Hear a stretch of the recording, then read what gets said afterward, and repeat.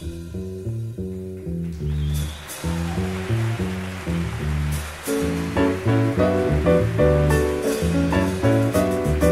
evening and welcome to Writers on Writing. I am your host, Dr. Brenda Greene, and we have a special edition of Writers on Writing that is being televised with one of our authors who's come out with a wonderful book, a very riveting book, The History of Stokely. It's called Stokely A Life. Writers on Writing comes to you every week and gives you, our listening audience, an opportunity to listen to writers talk about their work, their lives, and their craft.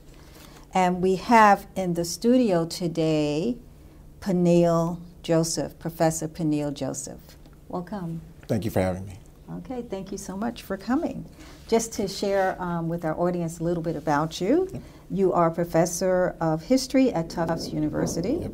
and the author of not only Stokely A Life, but Waiting to the Midnight Hour, a narr- narrative history of black power in America in dark days, Bright Nights from Black Power to Barack Obama, and editor of the Black Power Movement, Rethinking the Civil Rights Black Power Era. So you are immersed in black power politics, um, history, and Africana studies. They're calling it black power studies, I understand. Yes, yes, that's what we called it um, maybe 15 years ago. Um, it was really a call. Um, I, in the Black Scholar, I wrote, uh, I edited a two um, issue special um, called Black Power Studies. and the article I wrote was called Toward Black Liberation Without Apology. And I wrote that because I really felt, in terms of reading the history of black radicalism, so everybody from Ida B. Wells, um, um, Maria Stewart, um, so there's a long history, Harriet Tubman, Sojourner Truth. Uh, we usually think about a litany of black men, but there's right. a litany of black women who are, um, and of course men who are black radicals. Some were Marxists, socialists, uh, revolutionary feminists, um, some were more liberals but this history of radicalism um, becomes even bigger in the post-war period. And even before the post-World War II period, Marcus Garvey, uh, but Amy Jacques Garvey, and um, um, Nannie Helen Burroughs, and, and all these different black women and men who were trying to transform America. And I felt that the reason I called it Black Liberation Without Apology, by the time we got to the 60s in the narratives of the history, um, black power was something people apologized for. Black Power was a period where people said 20 years later, 25 years later, uh, both whites and some blacks were trying to argue that it had been a mistake. It had been too vociferous. It was too um, narrow, right? And I thought, in terms of studying and reading that history, and also participating in aspects of it um, in New York City, you know, um, my mom is a uh, retired um, um, hospital worker who was part of 1199 SEIU for over 40 years. And um, I was on my first picket line at eight years old, uh, right here in New York City. So, um, and, and was part of organizing for Black Studies in high school, uh, part of um, anti, uh, uh, you know, what they were doing to Haitians in terms of Haitian immigration, Haitian immigrants in Guantanamo Bay, um, anti-apartheid activism, but also anti-police brutality activism during the Koch administration okay. and the Dinkins administration um, organized on behalf of David Dinkins in terms of trying to volunteer and do different things before he was elected uh, the first black uh, mayor of New York City in 1989. So my contention was that black power wasn't something to apologize for. Certainly it was a movement that had shortcomings and, and at times failures, but it, it was not a failure or a shortcoming to resist white supremacy, to have a criticism against capitalism, to have a criticism against violence against black women and children and men. That wasn't anything to apologize for. Well, now it's very interesting. Um, just listening to you tell your story, I'm just reminded of the story of Kwame Ture and Stokely Carmichael. There's some seeds there of your own story and, and his. There's some interesting parallels. So that's a good segue into how what motivated you to write uh, this book, Stokely, A Life.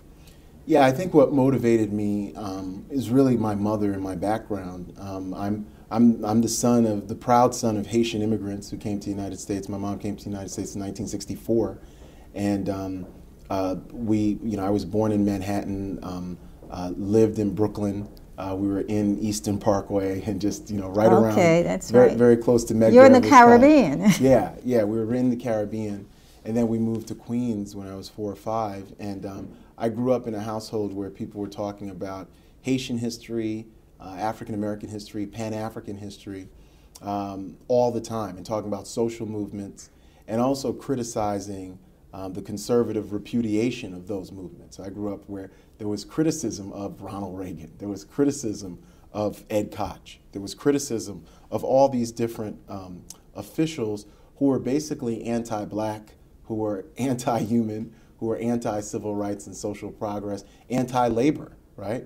Um, so that really was part of the inspiration. So I, I, I, read the Black Jacobins when I was 10 years old.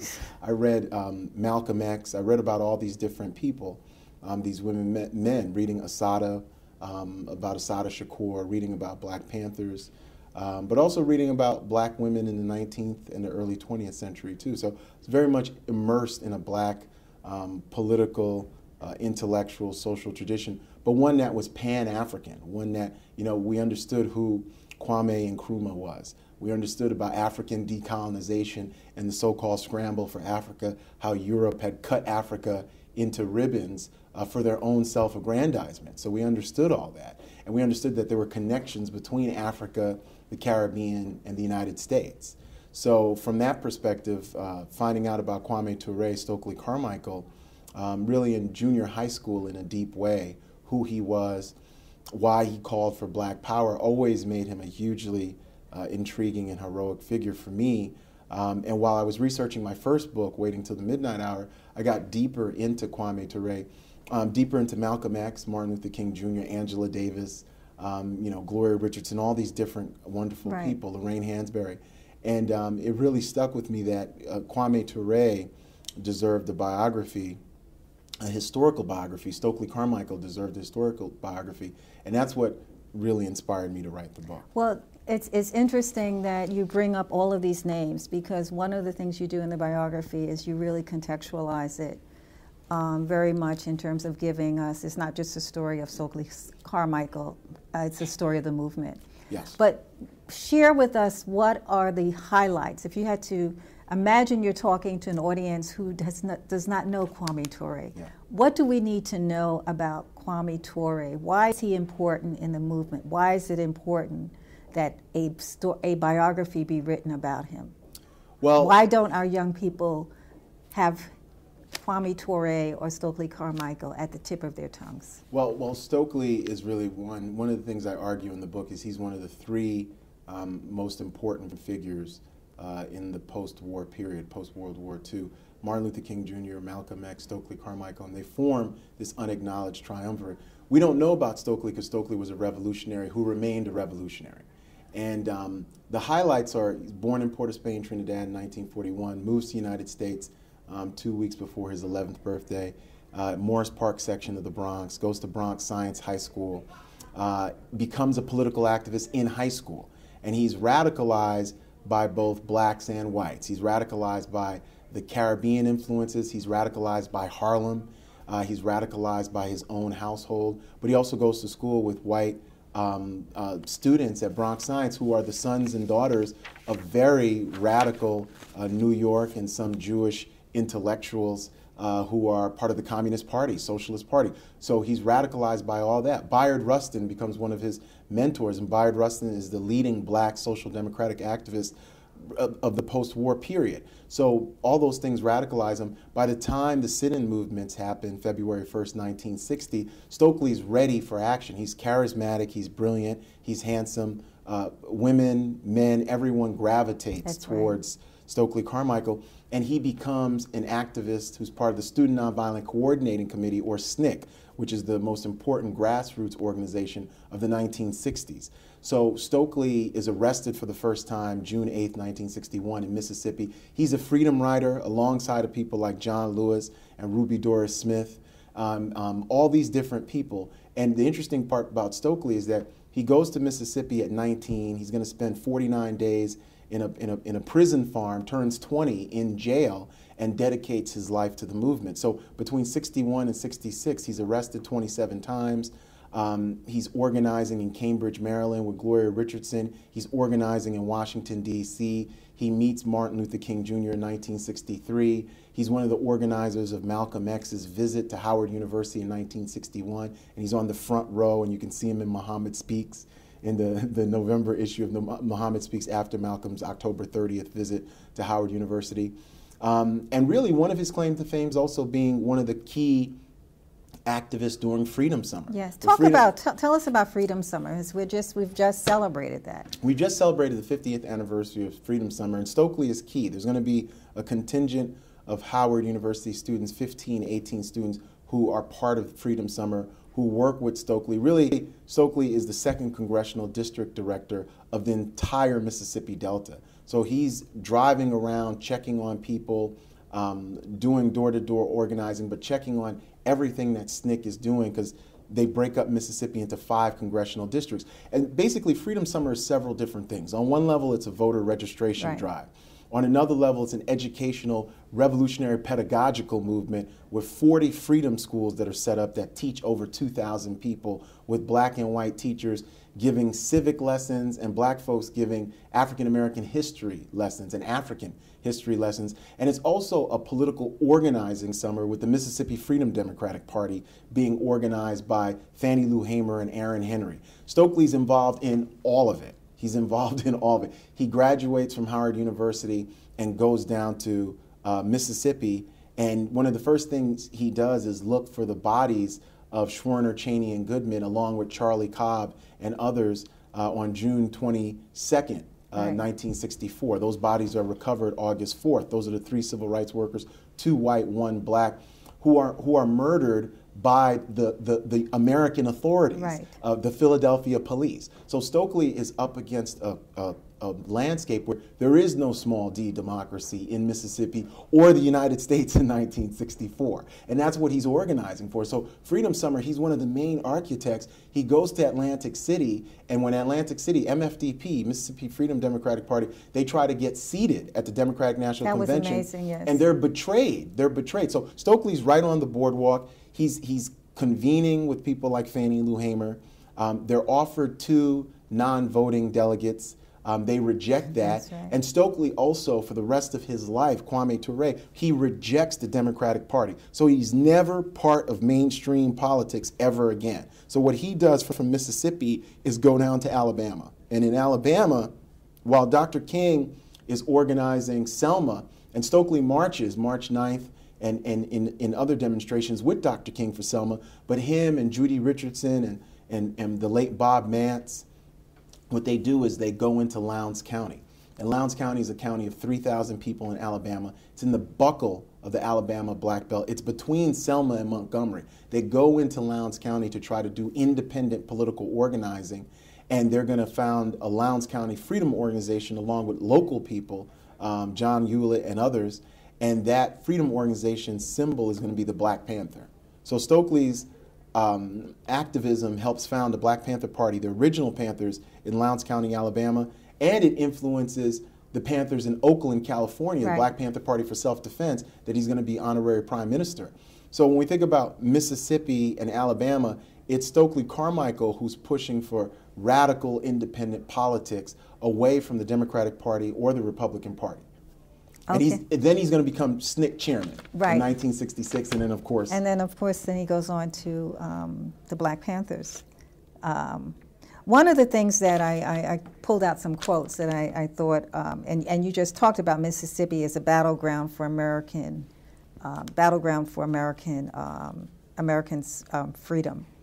But one of the things you talk about is and I, don't, I think this was a quote from him the great contradiction of the civil rights movement was that although whites were the majority and thus accountable for making democracy work, blacks inevitably bore the burden of this responsibility. And I just wanted you to, to elaborate on that because part of there's there's been uh, some back and forth in terms of, of Stokely Carmichael or Kwame Ture actually SNCC initially being interracial, and then he ends up going through the Pan Africanism, um, Pan Africanist movement, and really does not want to to work with blacks. with whites. With whites, yeah. With whites. Well, you know, the, the interesting part, what he's saying there is basically, or, or I might be paraphrasing what he said, is the idea that when we think about America and small d democracy, um, whites have been in political control of the country and they've basically distorted that democracy um, um, in, in, favor of racial and economic exploitation. Mm -hmm. And yet at the same time, black people have been the leaders and been those at the cutting edge of a real expansive democracy. And that's a great, great contradiction. So it's black people, black women and men who have been the leading folks for not just civil rights, but human rights and um, public school education, health care, all these things for everyone, even while the majority of the population is more interested in exploitation and really racial terror against black people. So those that's one of the interesting things. I think Stokely's political philosophy is going to evolve. I mean, he calls for black power starting June 16, 1966, um, and he's calling for radical political self-determination becomes the biggest anti-war activist yes. uh, in the United States of America, and we can talk about that deeply. But his critique of whites is going to be a complicated critique. One of the things I say is that Stokely Carmichael Kwame Ture was never a conventional racial separatist, even though all the distortions keep saying he was. Because even okay. once he becomes Kwame Ture, I've interviewed and I've met white activists who had worked with him uh, Kwame Ture is hugging them and their kids yes. and their children. So he, Kwame Ture was a humanist. Here's what he says. He's got a critique of liberal racism, which is still with us in the United States today. He's got a critique of liberal condescension and, and the, the, the, the patronizing of black people. What he says is that whites need to go and organize and, and try to challenge white supremacy. Stokely Carmichael does not throw whites out of SNCC. He disagreed with that decision. SNCC does so in December of 1966. 19 to 18, they refused to let um, Bob Zellner and the last remaining folks in SNCC carry out a project under the name of SNCC in New Orleans. He disagrees with that because Stokely, one of Stokely's uh, best uh, colleagues, Jonathan Daniels, white white um, seminary student, was killed in Alabama by, by white folks in 1965. Because that's who was killing black people and white people is white people, right? And so the interesting part about Stokely is that even as SNCC turns to black power, he never is trying to demonize whites. He's demonizing white supremacy. And in fact, one of his main supporters is uh, who I talk about in the book, um, um, Lorna Lorna Smith yes, is a white elderly, elderly white woman who loves Stokely even with the turn to black power because she realizes what he's saying. He's saying these institutions have to change and transform.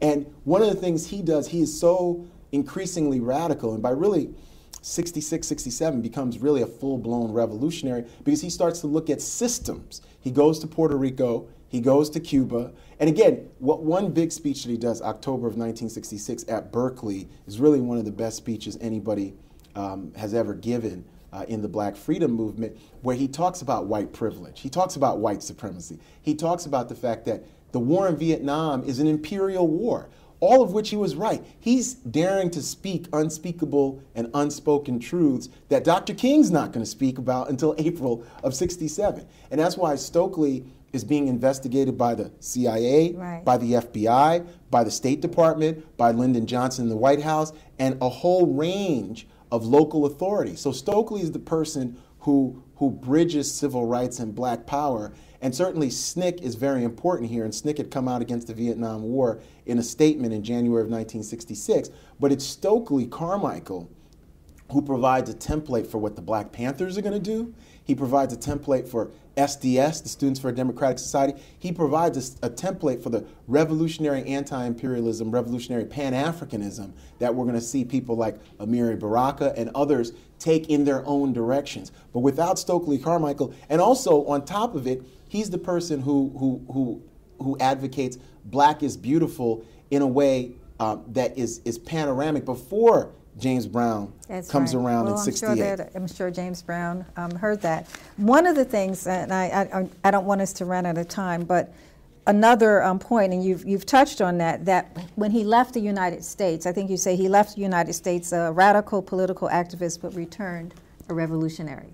Yes, I mean, and, and and what did going outside of the United States do for him? Do for more, I guess, do more for other people and other movements. Absolutely. It enlarged his scope. He really saw revolutionaries and met with revolutionaries. He goes to London, he meets up with CLR James um, and, and, and Michael X and others. Um, he goes to Cuba and he's with Fidel Castro in the Sierra Maestra. He's in Santiago de Cuba. Um, he's seeing how revolutionaries live and work and operate. He goes to Vietnam and he meets up with Ho Chi Minh. He meets up with the legendary Shirley Graham du Bois W.E.B. Du Bois's widow in China and, and, and Africa. Um, he goes to Algiers and meets up with revolutionary government and officials in Algiers. And of course, he goes to Conakry, Guinea, and Tanzania. And in Conakry, he meets up with not only Kwame Nkrumah and Sekou Touré, but and Kwame Nkrumah is is is the father of post-war Pan-Africanism, right. and Sekou Touré is the leader, the president of Guinea. He also meets up with Amilcar Cabral and the people who are part of the PAIGC and the revolutionary movements in Cape Verde and Guinea-Bissau. So he's meeting up in Tanzania and Jomo Kenyatta. He's meeting all these revolutionaries, and he's seeing that the United States is not necessarily the headquarters of the world. That's what he comes back with, and he comes back with that at a time where people aren't really um, onto what Stokely is onto. You know, Malcolm had been onto it, that there was this whole other world of anti colonialism, Pan Africanism, and a whole other way of life where the United States was not central, where the center right. was Africa. Africa wasn't the periphery, right? And so the so called third world, the third world was the center. So he comes back knowing that and trying to galvanize both the Black Panthers, a Black United Front, folks in SNCC to, to understand that one, we have to make these alliances, but we can also headquarter ourselves other places than the United States. Okay. Now you want to, um, you're, you're obviously a, a, a, wordsmith, you did a lot of research. um, I just found it kind of interesting uh, that uh, two of the titles you chose um, one, The Chocolate Fred Astaire. and the other magnificent barbarian. I mean, I, I, can look in the book and see why you chose that, but I just found it very interesting because you would you would you very I know you were very deliberate about what you did. Can you talk a little bit about that? Why you chose to highlight um, him in that way? Yeah, the chocolate Fred Astaire is something that he. That's a quote from Kwame Ture when he's writing his autobiography, Ready for Revolution. Right. And he's, he's describing how white liberals and white folks at Bronx Science viewed View him, him, viewed him as the chocolate Fred Astaire. And I wanted to set that up because I think people look at Stokely Carmichael Kwame Ture as sort of this angry black man, right? This angry, sort of one-dimensional, okay. sort of stereotypical black man. And I wanted to show the, the complicated sort of matrix and ma- matrices that actually produced him, where this wasn't somebody who hated white people, even as he was talking about black power. He's actually this revolutionary humanist, and he actually uh, didn't hate white people. He wasn't anti Semitic. He was this humanist, right? Um, he's got a critique against white supremacy. Um, he's for Palestinian liberation. He's for these different things. But but what I wanted to show is that there's a certain point in his life where um, um, whites love Stokely Carmichael. You know, they invited him to their homes in the Upper East and Upper West Side. Right. You know that he he was one of the few black kids at Bronx Science High School, but he was really the most popular student in the class of 1960. Right. So I just wanted to emphasize that and what that does to somebody and how he, he, he has a very, very complicated background because it's a very pro black background. It's a very Caribbean and Pan Africanist background, but it's a very intimate relationship with whites as well. And the white community and white culture were part of what formed him intellectually, right? So by the time he is, is talking about black power, he really understands Marxist critiques and historical materialism. He's been reading that stuff since he was a teenager right? So I wanted to show that. And, and the, the, the title, The Magnificent Barbarian, is from an ebony um, profile right. of him um, by Lerone Bennett. And, and the interesting part there was that, you know, there's, you know, uh, SNCC people are being interviewed, and some people said that Stokely looks like the, the a statue of a Nubian god. Um, they said, you know, all these things, but then that, that that whole notion of the magnificent barbarian, in the sense of Stokely was obviously very cultured, very intellectual, very sophisticated and cosmopolitan, but he's also somebody who's hugely passionate. He's usually passionate, and he, he is also an enemy of injustice. So what Stokely did um, and obviously Malcolm X did this, and Dr. King did this, and so many different um, black women and men did this. He's very passionate about black people, and he loves black people. He's always talking about an undying love for black people. So I, the Magnificent Barbarian, I, I, like that in the sense that um, this this notion that this is somebody who will not be um, tamed, and this is somebody. Sometimes you do have to um, shout, and that's what the Black Arts Movement said. Sometimes you had to curse. Sometimes you had to name names, and that's what Sonia Sanchez has done, right. Nikki Giovanni, where it's not going to be polite. And so when Stokely Carmichael says all the courthouses in Mississippi have to be burnt down to the ground to get rid of the dirt, one, I don't think that's hyperbolic, and he he was right. He was, he was talking about in, uh, these institutions of white supremacy that were killing black Americans, right?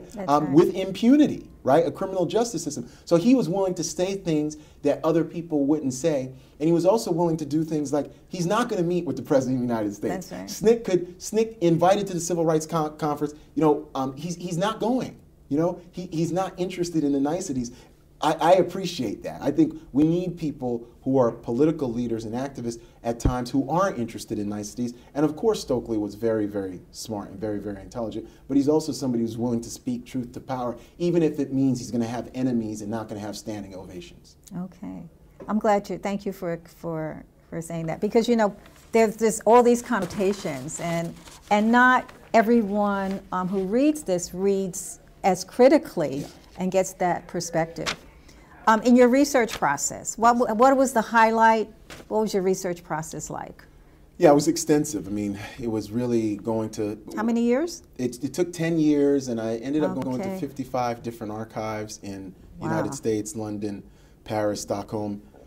Did not go to Africa because his Africa uh, archives are not open to the public. They're not open to, and I tried, so they're not open to researchers as of yet. I hope that happens. His papers were supposed to go to Howard University. That did not happen. Where are his papers? Um, they are scattered. They are scattered as far as I know. Um, so there was a ton of um, archival sources, whether it's the Schomburg here in New York City or Stanford University in California, um, different newspaper sources, different government documents, FBI files, uh, different oral histories that I made, that I conducted, and some that I sourced. Um, his own autobiography, which is which is obviously a brilliant um, documentation and memoir. So it was a, it was it was definitely a far you know um, old footage and videos and documentaries. So it was definitely a far-reaching, and then you know a ton of secondary uh, literature. You, you interviewed um, a lot sources. of people. Yeah, absolutely, absolutely, okay. yeah. Okay, yeah. and what was the highlight for you in terms of that research? I mean, some some moments that you that really were um, riveting, or even if you don't want to say highlight, what was? I think. I think the anti-war activism was one of the highlights, mm-hmm. and the fact that it, Stokely was was the leader and King was the follower in this issue in this instance, um, and they both knew it. Um, their relationship was also a highlight. You know, Stokely and King, I think, loved each other. Yes, um, and, and we don't they, know that. The exactly, public does not yeah, know that. And I think they mentored each other, and um, that was a very, very important um, relationship. Uh, I think. Um, also, his influence on the Black Panthers and the larger anti-imperial struggle was a highlight, and really the trips over overseas. You know, Cuba, um, Africa, uh, you know, Paris, London, um, Stockholm. Um, you know, you know, China, Vietnam were, were highlights. Okay, so in closing, yeah. why do we need to know about Stokely Carmichael, Kwame Ture. Well, let's say Kwame Ture. Let's well, Kwame Ture was a revolutionary Pan Africanist, civil rights activist uh, who really transformed the black freedom struggle. We need to know him now more than ever because the things that he was fighting for, which were human rights and social justice, uh, are actually more distant in our own time than they were in his. Um, he criticizes American racism, um, capitalism, uh, racial and economic exploitation. And we need to know this, what that legacy is and was and continues to be. Um, he, he believes in a global Pan African revolution. Um, he believes in social and political justice and human rights and equal rights for, for all. And so we, we need to understand that the reason why so many young black people don't know who Kwame Ture is, is because he's somebody you can't rehabilitate. You can't rehabilitate a revolutionary. So what you do is try to erase a revolutionary. That's right. So thank you. Thank you for doing the research. Thank you for telling the story. And um, thank you for bringing him alive oh, for you. us, for young people. Um, I, I, I, thought about the freedom schools and how we need more freedom schools. They should be. Oh, absolutely. They absolutely. should be happening. And we need a new voting rights movement right now. We certainly do. Yeah. Yeah. So thank you so much well, for coming to Medgar Evers College. oh, thank you, Dr. Okay, and um, please, um, I want to tell the listening audience to go out and get Stokely A Life, a very, very important book. Um, Professor Peniel Joseph is the author. He's done a magnificent job. It's a critical work. It's something that you can go back to. Um, you can do a read, and it's, it's wonderful research, excellent research. Thank you. This has been Dr. Brenda Greene, the host of Writers on Writing. Next song was inspired by a poem written by Langston Hughes. I'm sure most of you have heard of Langston Hughes. And he wrote a poem about rivers